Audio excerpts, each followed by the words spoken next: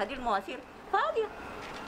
حال هذه السيدة هو حال معظم السودانيين اليوم وكثير منهم يتساءلون إلى متى.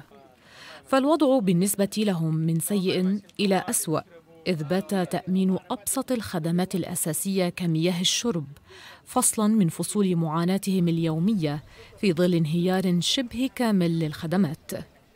مشكلة كبيرة جدا. يعني بتكون أنت حتى العناية الصحية صحيا أنت حتكون ما حت ما حتنظف كويس ما حتقدر تغسل يعني الملابس الحمامات اللي هناك. في مشاكل صحية بتحصل.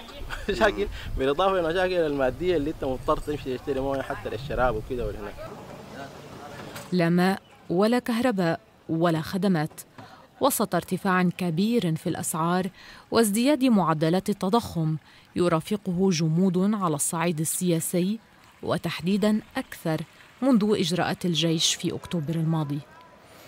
ينعكس هذا الجمود السياسي بشكل كبير على حياة السودانيين مع تعثر المفاوضات بين القوى المدنية والجيش وفشل الوساطات الدولية والإقليمية في كسر الجمود والتوصل إلى حل يخرج البلاد من أزماتها.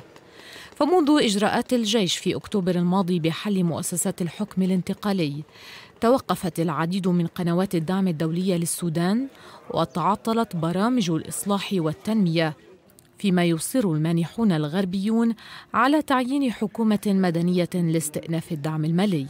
كنا متوقعين مثلا دعم للموازنة 500 مليون دولار في نوفمبر.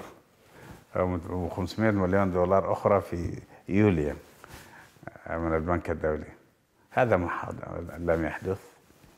وما متوقع في يوليو المبلغ يصل آه كنا بنوزع أموال على المواطنين عبر برنامج ثمرات. آه تعطل هذا البرنامج.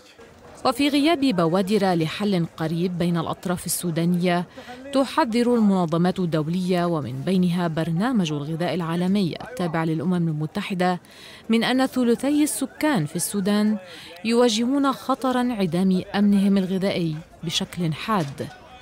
تتأثر الأزمة الغذائية في السودان أيضا وتترافق مع أزمة عالمية بسبب شح الحبوب وعقبات تصديرها مع استمرار الحرب في أوكرانيا وهي التي تعد أحد أكبر منتجي ومصدري الحبوب في العالم. يارا فارس الحدث.